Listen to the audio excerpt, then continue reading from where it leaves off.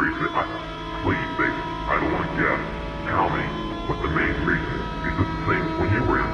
So that we can play spells on people that we couldn't cast spells upon.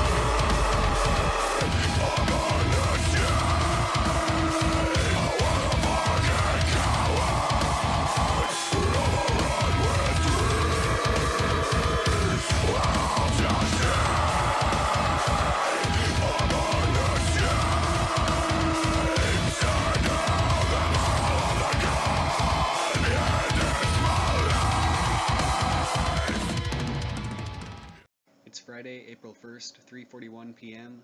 I'm going to read chapter 19 of part 3 of book 4 of Dramatic Rituals. The wheel turns to those effectual methods of invocation employed in the ancient mysteries and by certain secret bodies of initiates today. The object of them is almost invariably the invocation of a god, and that god is conceived in a more or less material and personal fashion. The word is unwarrantably universal it would not be impracticable to adopt this method to such operations as talismanic magic. For example, one might consecrate and charge a pantacle by a commemoration of the equinox of the gods, and the communication by Aiwaz to the scribe of the Book of the Law, the magician representing the angel, the pantacle being the book, and the person on whom the pantacle is intended to act taking the part of the scribe. These rituals are therefore well suited for such persons as are capable of understanding the spirit of magic as opposed to the letter. One of the great advantages of them is that a large number of persons may take part, so that there is consequently more force available, but it is important that they should all be in harmony. It is well therefore that they should all be initiates of the same mysteries, bound by the same oaths, and filled with the same aspirations. But they should not be friends unless by accident they should be associated only for this one purpose. Such a company being prepared, the story of the god should be dramatized by a well skilled poet accustomed to this form of composition. Lengthy speeches and invocations should be avoided, but action should be very full. Such ceremonies should be carefully rehearsed, but in rehearsals care should be taken to omit the climax, which should be studied by the principal character in private. The play should be so arranged that this climax depends on him alone. By this means one prevents the ceremony from becoming mechanical or hackneyed, and the element of surprise assists the lesser characters to get out of themselves at the supreme moment. Following the climax there should always be an unrehearsed ceremony, an impromptu. The most satisfactory form of this is the dance. In such ceremonies appropriate libations may be freely used.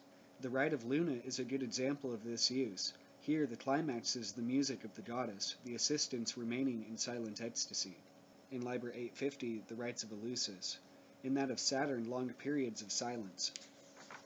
It will be noticed that in these rites poetry and music were largely employed, mostly already published pieces by well-known authors and composers.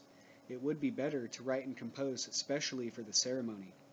Perhaps one can think of certain awful consequences, but after all they wouldn't seem so to the authors.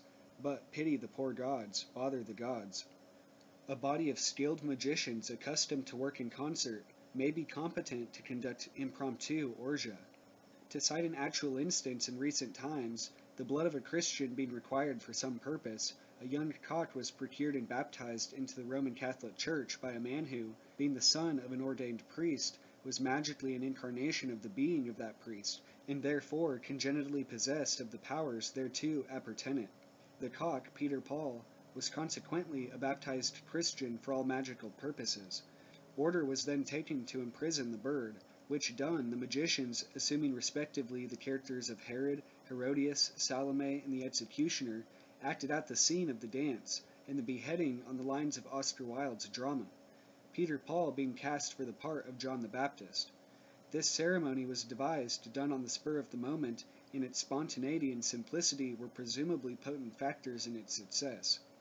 On the point of theology, I doubt whether Dom Gorenflot successfully avoided eating meat in Lent by baptizing the pullet a carp.